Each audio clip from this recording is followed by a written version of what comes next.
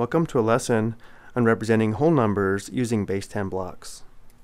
We will be using the online base 10 blocks from the National Library of Virtual Manipulatives. Let's begin by reviewing the base 10 blocks. Starting on the far right, we have the unit, sometimes referred to as a bit. 10 units equal 1 rod, 1 rod equals 10. 10 rods equal 1 flat, 1 flat equals 100, and we can see it takes 100 units to form one flat. And then finally, 10 flats are equal to 1 cube. 1 cube equals 1,000. It takes 1,000 units to form this cube. And now let's model 23 using the base 10 blocks. Notice how we have a 2 in the tens place value and a 3 in the ones place value. So starting with the 2 in the tens place value, because each rod is equal to 10, we need two rods. Two rods is equal to 20. Because we want 23, and there's a 3 in the ones place value, we need 3 units or 3 bits. This is the model for 23. 23 equals 2 rods plus 3 units or 3 bits. So for our work, we'll say 23 equals 0 cubes plus 0 flats plus 2 rods plus 3 units and to record the model, we'll use this notation here for a unit, a rod, a flat, and a cube. So for two rods plus three units, we have two segments and three small x's. Next we have the number 57.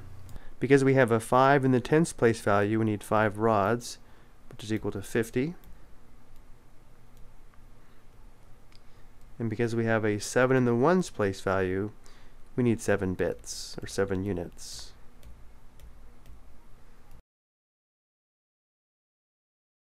Fifty-seven equals 5 rods plus 7 units. So going back to our work again, 57 equals 0 cubes plus 0 flats plus 5 rods plus 7 units. To record the model, we have 5 rods 7 units. Next we have 341. We have a 3 in the hundreds place value, a 4 in the tens place value, and a 1 in the ones place value. So for the 3 in the hundreds place value, we need 3 flats, because each flat equals 100. Notice 3 flats equals 300. Because we have a 4 in the tens place value, we need 4 rods. Each rod is equal to 10. Now we have 340. Because we have a 1 in the ones place value, we need 1 unit, or 1 bit. This is the model for 341. 3 flats plus 4 rods plus 1 unit. 341 equals 0 cubes plus 3 flats plus 4 rods plus 1 unit. Recording the model, we have 3 flats, four rods, and one unit. And then finally, we have 2,136. We have a 2 in the thousands place value, a 1 in the hundreds place value, a 3 in the tens place value, and a 6 in the ones place value. So for the 2 in the thousands place value, we need 2 cubes because each cube equals 1,000. So here's 2,000. We have a 1 in the hundreds place value, so we need 1 flat. 1 flat equals 100. Now we have 2,100. We have a 3 in the tens place value. Because each rod is equal to 10, we need 3 rods. We now have 2,130.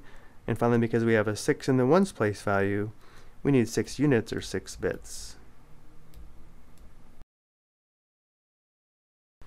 2,136 equals 2 cubes plus 1 flat plus 3 rods plus 6 units. Again, we have 2 cubes plus 1 flat plus 3 rods plus 6 units. Recording the model, we have 2 cubes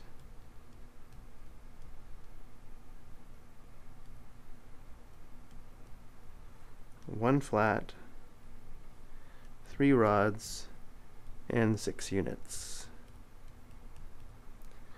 I hope you found this helpful.